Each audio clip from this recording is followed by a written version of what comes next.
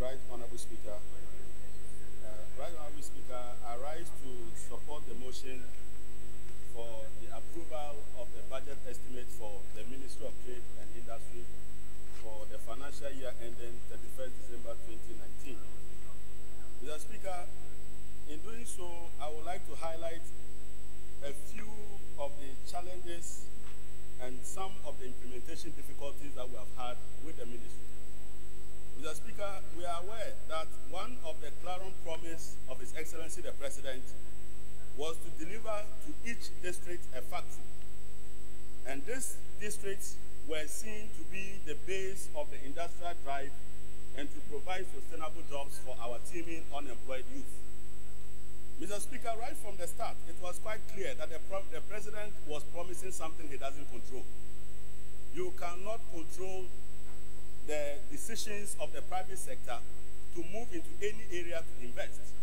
And therefore, to have made a categorical statement to deliver one district, one factory, when that decision rested with the private investor was in itself very problematic.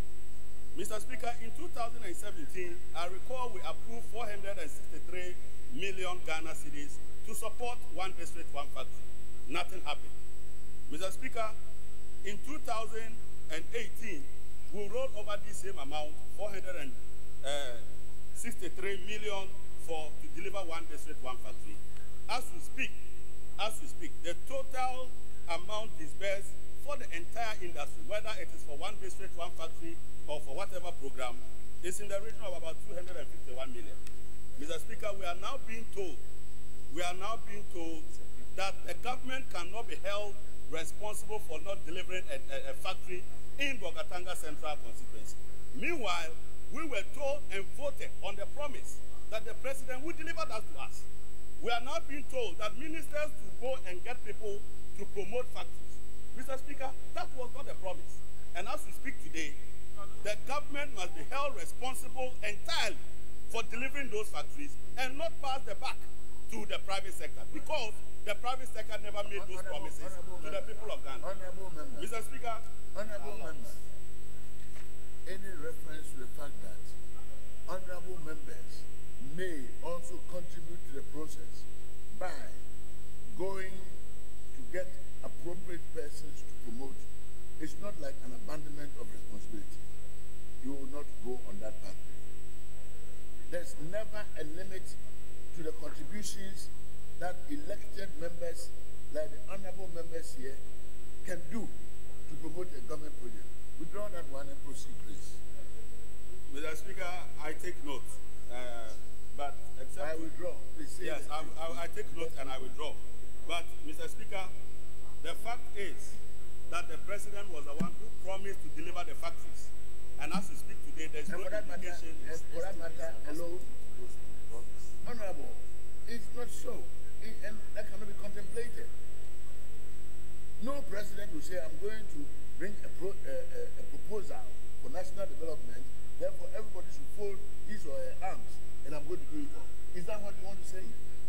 If that is not what you want to say, then don't try to put it in all this kind of meandering way. Please, proceed. Thank you very much, Right Honorable Speaker. From estimates. Right Honorable Speaker, from the estimates and from the briefing that we have had from the Minister of Trade and Industry, my municipality, Bolgatanga Central Municipality, has zero factory expectation. That's right. Zero factory expectation. And that is not the basis for which the people of Bolga voted for the NPP. And I am very worried.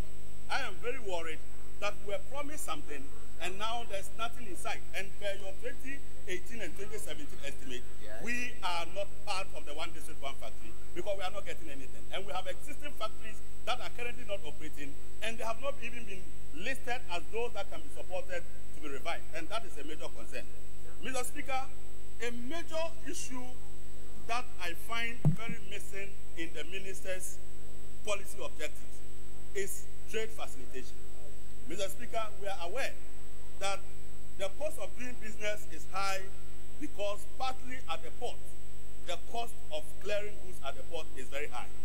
We have introduced in the past a single window platform where this house supported the government of His Excellency John Dramani Mahama to design and roll out a single window platform using West Blue and using GCNet as the main platform for delivering this single window. Mr. Speaker, only last year, only last year, His Excellency the Vice President instructed that by September he wanted to see the paperless system work. And Mr. Speaker, as part of the, the your committee, Trade and Industry Committee, we have extensively engaged stakeholders and gotten some stakeholders trained to implement this single window platform. Mr. Speaker, unfortunately, unfortunately, there is a major policy shift that was not announced in this house, even in the budget. And we are now hearing that Unipass, Unipass, which is a Korean company, From is now going to take over.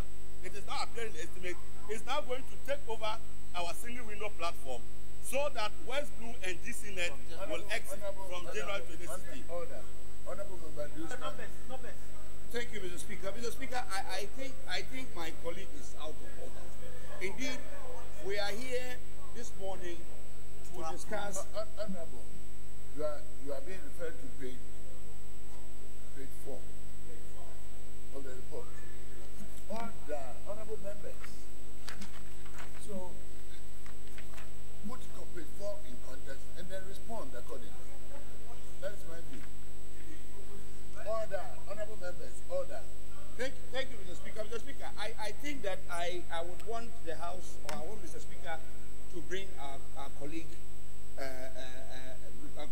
attention to the fact that we are here to discuss a budget document. We are here to approve this document, the estimates. We are not here to ask questions of the minister. If he has a question, he knows the way. He should put his question and the, the, the, the, table office will bring it up for him to come and ask his question here. As we are here today, we are only here to discuss these estimates and approve. Estimates and approve the estimates. Why are you bringing Unipass and West Blue and and and and, and, and, and, and, and it has no relevance. Thank you very much. It has no relevance. What is the relevance? Order. The honourable member who is making reference to other banks and other etc. So please contextualize it by telling me where in the report. Mr. Speaker, on page four of the document, the minister intends to spend part of his money on trade development program, which includes trade facilitation. Which and trade what? facilitation is a key policy objective Uh, of the government in 2018. What is the reference to the Unibank etc. that you want to talk about? Is that something you have heard from somewhere?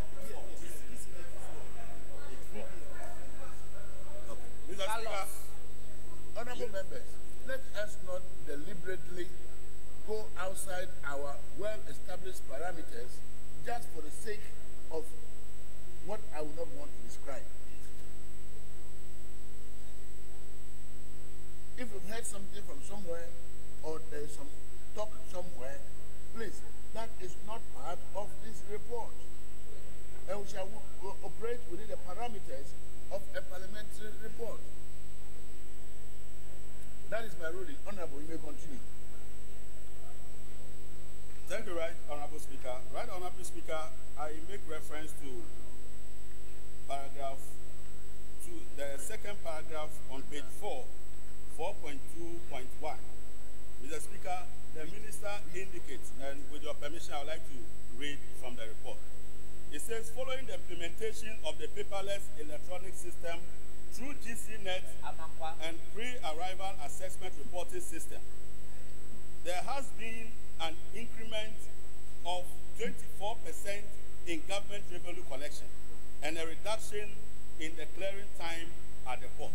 Mr. Speaker, quite clearly, GCNet has delivered, quite clearly, West Blue has delivered, Will- where the minister's own assessment. Will you want to restrict yourself to what you have just read and withdraw your earlier statement? That's all.